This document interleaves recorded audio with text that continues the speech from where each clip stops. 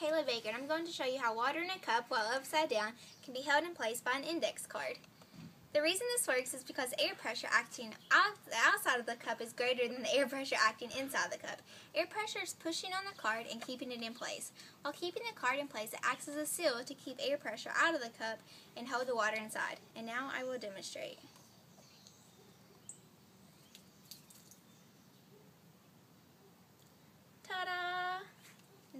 prove it. I touched